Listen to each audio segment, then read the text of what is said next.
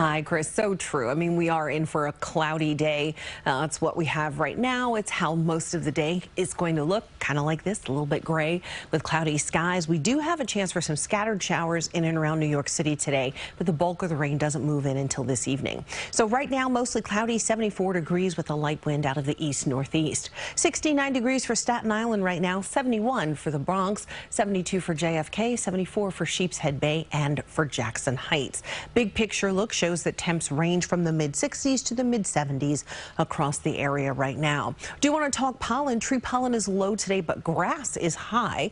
Ragweed and weeds are both very high, and mold is moderate. So, yeah, it's a very colorful pollen report this morning, but a lot of things to trip you up as an allergy sufferer. So just be mindful of that. As we take a look at your satellite and radar, you can see the rain has really been primarily uh, north of New York City. So Sullivan, Ulster, Dutchess, a lot of activity there. A little bit for uh, Orange and Putnam counties. Northern Westchester had a cell move through, but a lot of that has been Sullivan, Ulster, Dutchess because you're closer to the bulk of the moisture right now, which is up around Albany and Binghamton. Here's a big picture look um, at that rain, but the rain will fill in. So we're going to have a red alert primarily for tomorrow, but it really starts later tonight.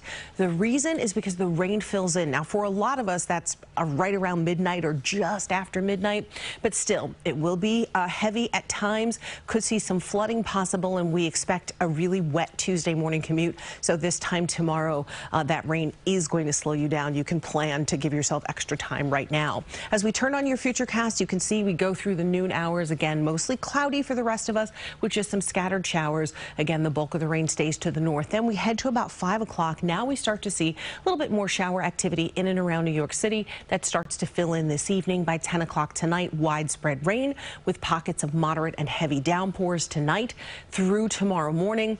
Uh, and that kind of continues through about lunchtime, 1 o'clock in the afternoon. Then things start to taper off a bit. If the timing of this remains the same, it starts to taper off, but we could see some light shower activity lingering through Tuesday night, even into Wednesday morning. So kind of a, a long run here where we have a chance for rain. This particular model is really aggressive, saying you could, you know, we could see some areas seeing four, four and a half inches of rain, but the European is not nearly as aggressive, saying hmm, it's more like an inch to maybe two and a half inches in places where uh, we see some of those heavier cells. So just know 82 degrees expected on this Labor Day with just a few scattered showers across the area. The best chance still being north and west of the city. And then your first alert seven day forecast shows that tomorrow will be a red alert day, but it really starts right around midnight.